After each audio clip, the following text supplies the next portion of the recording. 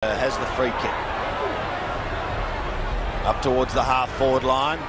Oh, he's taken it! he jagged it. Mark Maclure. Pretty blustery. They're kicking long.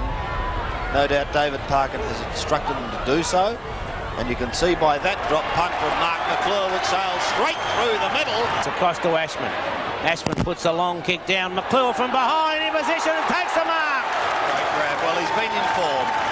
The, some of those younger players, Robertson, and Road, are doing a, a fine job for their side. Robertson in the centre against Williams as Maclure lines up. 15 metres out. Goals. Two goals to Mark Maclure. Pass to Buckley. Carlton, it must be a free kick upfield. That's foolish play. Poor play by Kevin Ablett.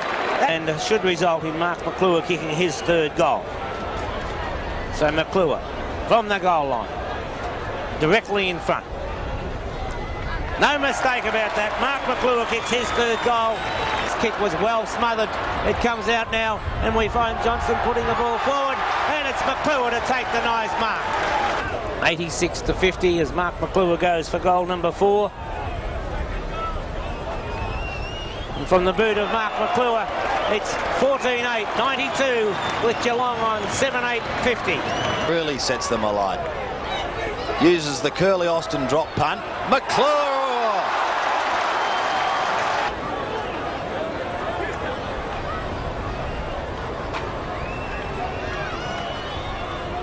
The drop punt from Maclure is good. Goal number five to Marcus. As likewise to Elvin from the centre of the ground. Elvin straight down the ground. No mark taken and Maclure picks it up, snaps towards goal.